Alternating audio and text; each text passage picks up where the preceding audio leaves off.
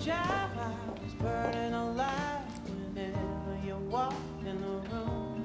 It happened so quickly, I was feeling so sickly, like a lover who lost his muse. War gar nicht so leicht, euren Portier zu überreden, mich hereinzulassen. Aber sonst wäre es ja keine Überraschung gewesen.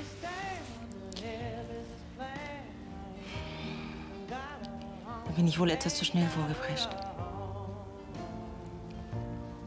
Dein Vater? Ich kann mir immer noch nicht vorstellen, dass ich ihn nicht mehr wiedersehen werde. Wenn du lieber alleine sein möchtest,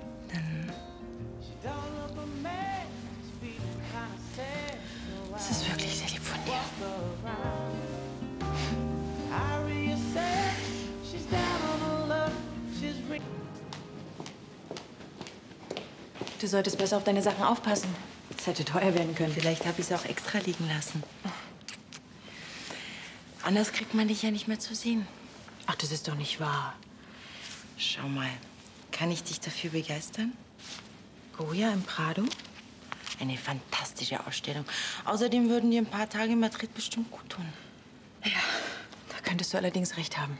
Soll ich zwei Flüge buchen? Für morgen früh? Morgen früh schon? Ja, warum eigentlich nicht? Ehrlich? Oh, damit hätte ich jetzt überhaupt nicht gerechnet. Schön. Ich melde mich dann bei dir. Tag, Frau von Landstedt. Guten Tag, Frau Felix. Warst du bei Ansgar?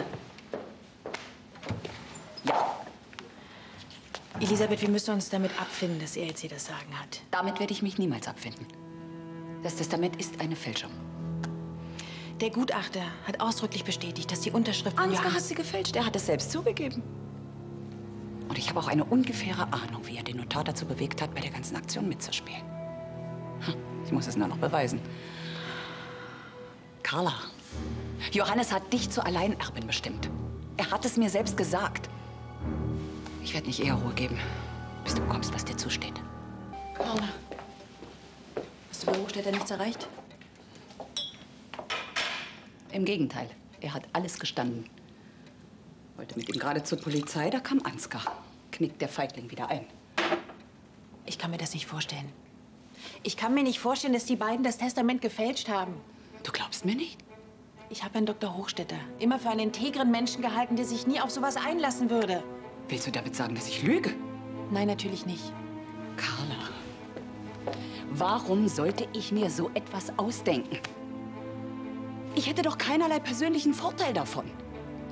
Alles, was ich will, ist, dass Johannes letzter Wille erfüllt wird. Und nicht ausgerechnet Ansgar sein Erbe antritt. Du solltest die Firma übernehmen. Das hat sich Johannes ausdrücklich gewünscht. Aber die Unterschrift ist echt. Das hat der Gutachter ausdrücklich bestätigt. Du glaubst mir nicht. Gut, ich kann dich nicht dazu zwingen. Aber ich kann weiter gegen diese schreiende Ungerechtigkeit kämpfen. Mit dir oder ohne dich.